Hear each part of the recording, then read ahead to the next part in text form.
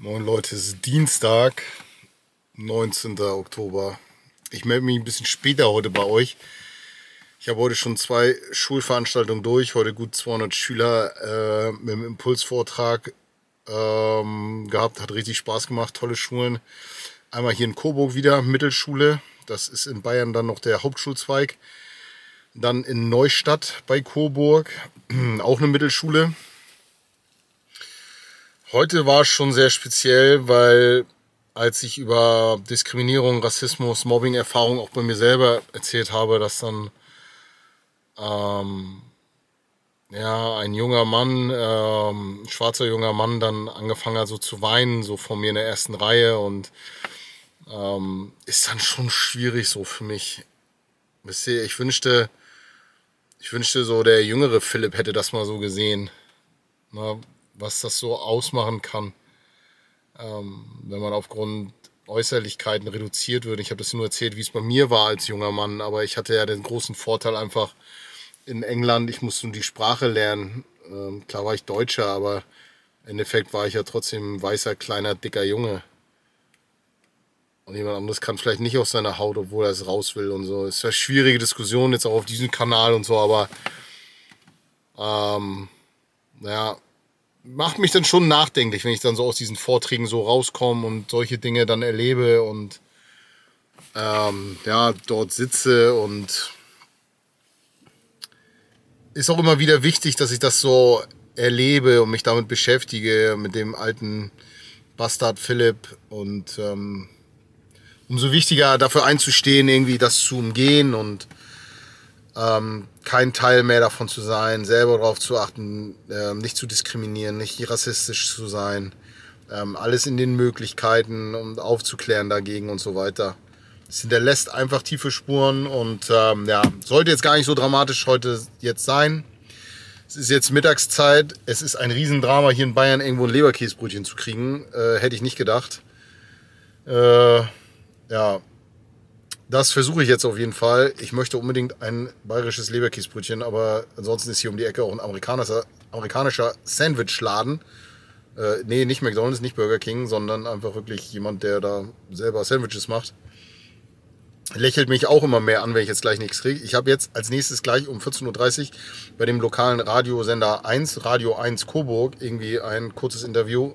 Ich muss ehrlich gestehen, richtig Bock drauf habe ich gerade nicht. Ich habe auch noch einen Podcast. Ähm, am Donnerstag und ähm, es ist, äh, man kann das vielleicht nicht so ganz vergleichen. Ich weiß, ich weiß, es versteht kaum jemand, aber wenn man so auf der Bühne ein paar Stunden ist und dann redet und redet, das ist sehr energieraubend. Ich weiß, ich will das nicht vergleichen mit irgendjemandem, der Maurer, Dachdecker oder sonst was ist und so weiter. Das ist eine andere Anstrengung, aber es ist auch eine sehr große Kopfanstrengung. Und ähm, ich hätte mich jetzt eigentlich gefreut, mal kurz so 20 Minuten Pause zu haben oder eine halbe Stunde, aber jetzt bin ich gerade aus dem Vortrag raus, war schnell im Hotelzimmer, habe mich umgezogen, weil es schweinekalt hier geworden in Coburg. Irgendwie 8 Grad gefühlt. Ich sitze im Auto, habe schon ähm, Standheizung an. Ich habe Gott sei Dank ein Mercedes mit Standheizung Gebrauch gekauft. Und ähm, versuche mich ein bisschen aufzuwärmen, gehe jetzt gleich los durch die Stadt. Es regnet, es nieselt, es ist wunderbar, wunderbar. Äh, ich wollte heute eigentlich schön auf die Coburg hochgehen, aber das verschiebe ich wohl auf morgen, weil heute wirklich das Wetter sehr, sehr bescheiden ist. Aber ich kann es mir noch nicht vorstellen, nachher die ganze Zeit auf dem Hotelzimmer zu liegen, da abzuhängen und so weiter. Ähm, das ist so noch so gar nicht meine Welt. Mal gucken. Mal gucken, was der Tag noch so bringt. Ich habe jetzt hier auch keinen Regenschirm oder so. Ich wollte mir eigentlich immer mal einen Regenschirm ins Auto legen. Kennt ihr das, wenn man es dann braucht? Das Geile ist, meine Marisa hatte mir eine neue Derbejacke geschenkt. So eine ähm, so ein Friesennerz, also eine, eine schöne dicke ähm, ölige Regenjacke sozusagen. Die hatte ich dann mit bei Lars seinem Geburtstag. Dann habe ich sie im Taxi vergessen. Der Taxifahrer hat die dann wieder geholt und gebracht. Jetzt, ist sie, jetzt liegt sie in seinem Taxi. Jetzt hat er sie vorbeigebracht. Ich habe sie auf jeden Fall nicht mit. Dann, wenn ich eine Regenjacke brauche, ist sie nicht dabei. Ansonsten bin ich gut drauf. Ich habe viel Spaß hier. Ähm, heute Abend gehe ich schön bayerisch essen. Da freue ich mich richtig drauf. Heute wird, heute wird ein Schweinsbraten oder eine Haxen reingezogen mit Klöße, mit dicker Soße, mit einem Bierchen. Und äh, da habe ich richtig Bock drauf. Das mache ich heute. Alles andere zählt nicht, alles andere ist egal. Jetzt nehme ich euch auf jeden Fall gleich mit zum Radiosender. Ich gehe jetzt erstmal los. Leute, bis gleich. Jo, hier ganz geheim nehme ich euch mal mit.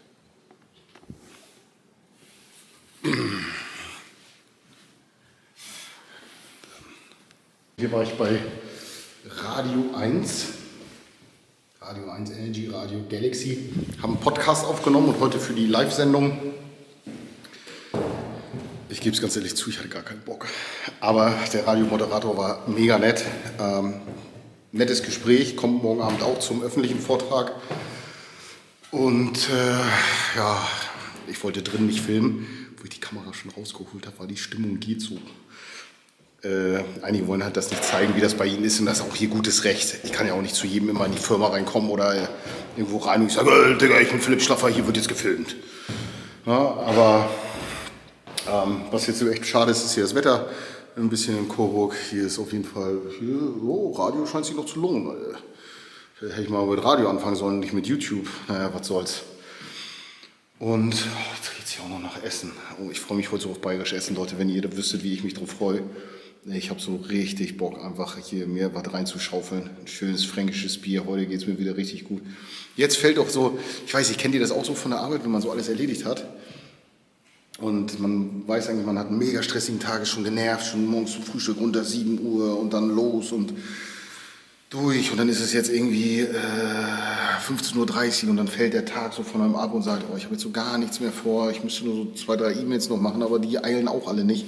Da habe ich mich sowieso schon gelöst. So.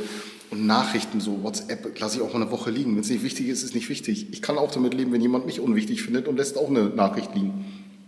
Und deswegen werde ich jetzt gleich gucken, dass alles so ein bisschen von mir abfällt. Ähm, bisschen Stress runter und dann gucke ich mal, ob ich irgendjemand finde. Ich glaube, zwei aus Coburg haben sich gemeldet, die mit mir essen gehen wollten, zumindest sich dazusetzen. Das Problem ist, wenn ich das mache, dann muss ich vielleicht wieder labern. Und da weiß ich noch nicht, ob ich da Bock drauf habe. Das tut mir leid, dass ich so ehrlich bin, Leute. Ist aber so. Ich gehe jetzt erstmal zum Hotel. Und Leute, ich hätte gerne heute wieder am Brauhaus gefilmt. Ich habe gefragt, kam nicht so gut an. Was mit den anderen verpixeln und so weiter. Ich sage, ja klar, mache ich später. Ja, nee, kann ich nicht, weiß ich nicht, wie das geht. Ich habe auf jeden Fall eben Coburger, Coburger Klöße gegessen. Ich muss mal sagen, ich habe noch nie vorher gehört im Norden, dass Coburg besondere Klöße hat. Mega lecker, irgendwie so rutschige Kartoffelklöße, die fast vom Teller rutschen, schön matschig. Mega geiles Sauerkraut, habe ich auch noch nie so gegessen, so gut. Aber ich sag mal, das, was vom Schwein da kam, das war eine Portion für drei Leute. Ich habe ein bisschen Kruste gegessen, habe ich. Ein bisschen was rausgepult. Ist so schade drum. Ich ärgere mich immer, wenn so Essen so viel weggeschmissen wird. Und äh, ja, das ist dann immer schön blöd. War auf jeden Fall mega lecker. Geiles Bier haben die da, so ein Hausbier. Das Fester Bier, Coburger Fester Bier. Coburger Feste Bier oder was, keine Ahnung. Auf jeden Fall richtig lecker. Mir ist jetzt sehr langweilig. Es ist, es ist äh, Viertel vor sieben. 18.45 Uhr, wer das nicht versteht. Und äh, es gibt leider in äh, Coburg keine Raucherkneipen. Das finde ich sehr schade. Äh, wir haben ja in äh, Schleswig-Holstein gibt es ja noch Raucherkneipen, Ü18. Und ähm, die soll es in Bayern wohl gar nicht mehr geben.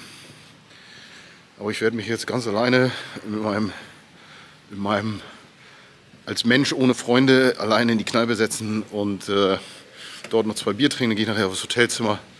Versuche wegzuschlummern. Morgen wird ein harter Tag. Morgen ist der öffentliche Vortrag. Und äh, morgen früh ist dann auch nochmal Schule. Ist noch genug zu tun. Ich habe noch genügend zu tun. Ich glaube, morgen esse ich mal was anderes als was, also was Bayerisches. Äh, ich glaube, morgen werde ich dann versuchen, mir irgendwo zwischendurch mittags irgendwie was beim Italiener ein paar Nudeln zu gönnen, weil abends habe ich keine Zeit. Vortrag danach wird es mit Sicherheit auch lange. Und dann schiebe ich mir irgendwas mittags rein. Jetzt muss ich hier erstmal suchen, wo jetzt hier am Markt 11 soll hier eine Kneipe sein zum Humpen. Sieht nicht so aus. Ich hoffe, dass ich das gleich finde. Ich müsste sonst mein, mein Handy gleich anmachen. Ja, das heißt, morgen werde ich mich so versorgen. Zu viel nur deutsche Küche kann ich nicht essen. Ich bin einfach ein Nudelkind und äh, italienische Küchekind.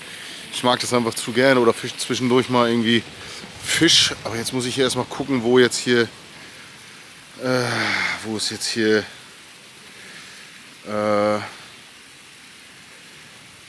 So, wo ist jetzt hier zum Humpen? Ich hatte doch eingegeben Kneipe. Kneipe Coburg.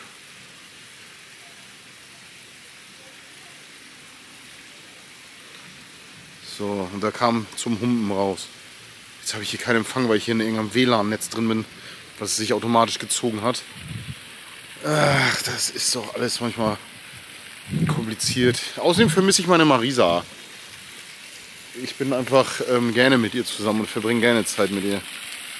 So, 58 Meter Kneipe Humpen. In welche Richtung denn? Das muss ich jetzt mal größer ziehen. 58 Meter. So, gucke ich denn schon in die richtige Richtung? Ne, da. Hä? Hä? Ich bescheuert oder was? Wo ist denn hier welches? Da ist ein Kaffeehaus. Neben dem Kaffeehaus. Da ist ein Depot, aber kein Humpen. Na gut, gehen wir erstmal gucken. Nicht, dass ich mich aus Versehen ins Kaffeehaus verirre. Das wäre ja richtiger Horror. Jetzt habe ich auch Lust, auch noch zwei Bier zu trinken. Und dann schleudere ich gegen 8 Uhr ins Hotel, lege mich früh schlafen. Digga, reingelegt. Reingelegt. Richtig schön abgerollt.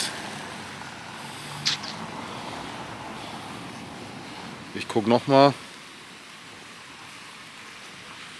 Irgendwie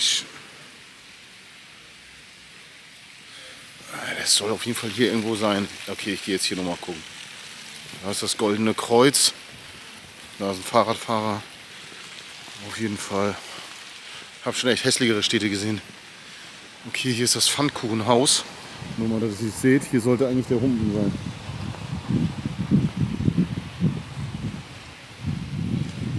Gucke ich mir auf jeden Fall jetzt einfach mal an. Äh, da steht Humpen. Da gehe ich jetzt hin. Steht auch schon Raucher draußen. Gefunden. Freue ich mich, Leute. Schade, dass keiner von euch dabei ist. Wir jetzt hier ein schönes Bierchen trinken können. Aber muss ich jetzt gleich mal gucken. Hier zeige ich euch das, was ich gesucht habe. Und äh, da werde ich gleich mal gucken, ob ich da einen Platz finde. Sieht aber jetzt nicht sonderlich voll aus. Ich schmeiße mir noch schnell eine Zigarette in den Mund und dann melde ich mich nachher, Leute. Ciao, Kakao.